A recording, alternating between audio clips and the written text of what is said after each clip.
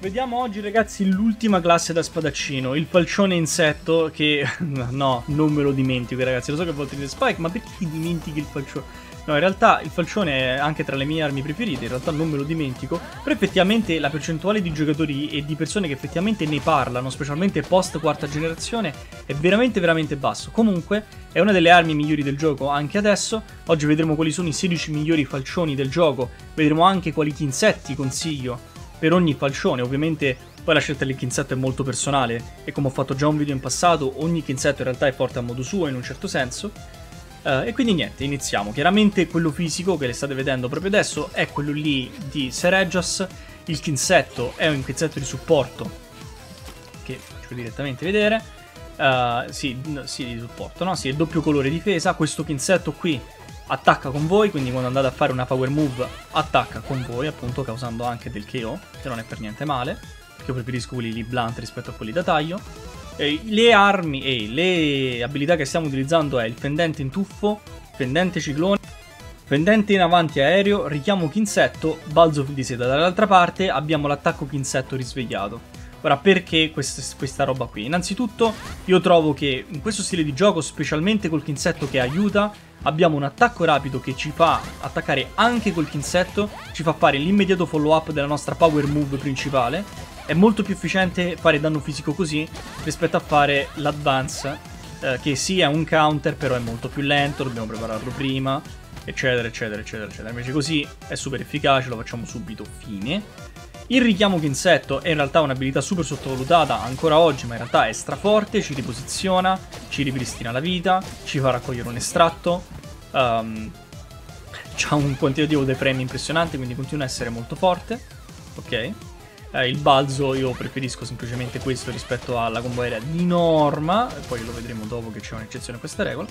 Dall'altra parte, in realtà per questo stile di gioco, considerando come, come va, io preferisco utilizzare il... Um, come si dice? L'attacco kinsetto risvegliato perché con, oltretutto con questi kinsetti in particolare non solo facciamo tantissimo danno, ok? Come avete visto, come avete visto da qui, ma non solo facciamo tantissimo danno, ma ci riprende, ci riprende in parte appunto gli estratti. Fa un botto di KO, vedete che in questo caso ho proprio messo instant in KO il mostro. Possiamo fare un follow up, siamo già pronti, siamo ritornati immediatamente nel triple up perché ovviamente questi insetti qui fanno, eh, raccolgono due estratti alla volta, quindi è super efficiente utilizzare questo tipo di arte anche solamente semplicemente come follow up, anche se semplicemente dovete attaccare lì, è, è semplicemente comodo e forte, ok? Eh, più di Diving Wyvern? Io direi di sì in realtà. Diving Wyvern è molto forte, cioè l'affondo dall'alto, ed è vero che è molto forte, però dovete essere messi in una condizione dove voi state effettivamente a mezz'aria per un periodo di tempo sufficientemente lungo, relativamente indisturbati, per poi piombare sopra il mostro. Mentre, da come ho testato già ormai per mille ore e passa, perché questa è la verità, ok? Quanto stanno? 1600, una roba del genere? Ok, forse di più? e, ehm, semplicemente fate più danno da terra per la maggior parte dei casi. Con i falcioni fisici specificatamente, poi riprenderemo il topic più tardi. Appunto, se volete un'opzione più aerial, potete andare per un set di questo genere. Questo è il falcione di Kamura. Uh, che funziona molto bene. Anche questo ci dà gli slot più grossi. Lo preferisco rispetto a quello di Seregios in questo setup. Perché mi consente di mettere abilità tipo Airborne, eccetera. Che mi, mi dà meglio un controllo aereo. Oltretutto, vi consiglio di giocare eh, antisussulto livello 3 per i set eh, questi qui aerei perché ci sono molte più cose che vi disturbano in Sunbreak mentre siete a mezz'aria. In questo caso ovviamente usiamo la, il Wyvern in picchiata, ma non solo questo, perché sì utilizziamo il pendente in tuffo. Um, sto facendo queste cose? Okay. Usiamo il pendente in tuffo, usiamo altre abilità. Possiamo marcare, ovviamente qui ne andremo a marcare con il nostro pinzetto, che è un pinzetto che attacca in automatico. Perché vogliamo un pinzetto che attacca in automatico? Perché noi in realtà potremmo... Ecco, perché possiamo fare esattamente questa cosa qui. E applicare, e applicare subito i nostri... Um, come dire... Nostri, le nostre polveri immediatamente. In questo stile di gioco qui utilizziamo il pendente insetto, ok? Perché questo, questo, questo stile di gioco qui vi permette di fare questa cosa. Che l'avete sicuramente già visto online. Uno, due poi potete, poi potete fare il dive immediatamente oppure fate un terzo e poi fate il dive, che è più efficiente. E poi nel frattempo scendete da terra, il pinzetto diventa di nuovo che può fare ciò che vuole, andate a mezz'aria, richiamate il kinsetto e attaccate con il kinsetto, insomma, e potete ripetere questo loop essenzialmente all'infinito fino a quando avete stamina, infatti questo set qua. Cercate di mantenere la stamina alta perché altrimenti piombate di continuo a terra. Allora, per quanto riguarda i falcioni status normale, ancora una volta, questi qui li giocherete multigiocatore, veleno, se il vostro team beneficia del fatto che il mostro è avvelenato per un lungo periodo di tempo, paralisi e sonno sono i due migliori status normali del gioco, e blast, ottimo per spaccare rapidamente le parti di mostro. Il set di skill che andiamo a usare è un po' diverso, abbiamo il pendente in tuffo chiaramente, è comunque un set fisico alla fine dei conti, quindi questo è comunque il modo migliore per arrivare alle nostre power move qualsiasi esse siano. Um, poi utilizziamo il fendente quadrimatico e adesso vi farò vedere rapidamente perché. Il fendente in avanti aereo, richiamo Kinsetto e Balzo Field di seta dall'altra parte. Invece abbiamo sempre il Diving Wyvern. Da- useremo qui il Diving Wyvern perché in realtà questi set che fanno multicolpo, se vanno a mezz'aria avete un'opportunità per colpire il mostro rapidamente tante volte, è un attack speed superiore, attenzione non è DPS, è attack speed superiore, che risulta in un'applicazione più rapida degli status normali. La ragione per cui stiamo giocando il Tetra Slash è perché questo tipo di kinsetto qui, che per esempio in questo caso mi fa, mi fa questo qua, mi fa scoppio guarigione, no? Sì, mi fa scoppio guarigione, mi, eh, mi consente di applicare rapidamente queste micro, micro polverine e poi oltretutto quando voglio posso anche fare un bop più grosso e ulteriori danni se voglio. Quindi è uno stile di gioco così. Oltretutto io ho scelto volutamente questo perché è un po' overkill usare anche il kinsetto veleno, vi consiglio di splittare, ok? Non, perché già questo faccione qua ha già tanto veleno di per sé, vedrete che splittare in questo caso è meglio, infatti ve lo faccio vedere poi kinsetto per kinsetto quali stiamo utilizzando appunto. In questo caso appunto è il, Bill, il, il Bilbo Bricks con scoppio guarigione, tipo polvere e ovviamente il falcione è quello di Camilos. Per paralisi usiamo il falcione stratosferico plus, il kinsetto è il kinsetto guarigione paralisi, in questo caso non è overkill perché chiaramente la paralisi è una threshold molto più alta. Il, so- il falcione sonno è quello di Somnacant, il kinsetto invece, attenzione ragazzi, il kinsetto è quello veleno paralisi, E per Blast abbiamo questo kinsetto particolare che è il bastone di Laerte, che è quello che ha il blast più alto di tutti. E il kinsetto fa scoppio, scoppio guarigione. Va bene comunque scoppio in questo caso, potenzialmente poter giocare appunto. Sono tutti intercambiabili i kinsetti, eh, quindi dipendentemente dal mostro in cui state andando e come è composto il vostro team, bla bla, potete switcharne uno e l'altro. Per Blast però onestamente va bene anche fare double down perché è proprio l'esplosioncina in questo caso dei, delle robe Blast che fanno anche tanto danno, quindi va benissimo così.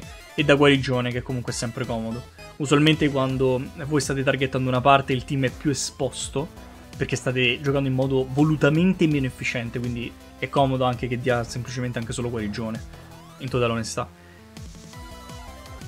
Ora, iniziamo a parlare di, di falcioni insetto elementali fisici ed elementali elementali. E io ci avevo perso totalmente le speranze, oltretutto, in questa cosa qui. Negli elemental fisici il migliore fuoco fisico è quello di Spinas normale.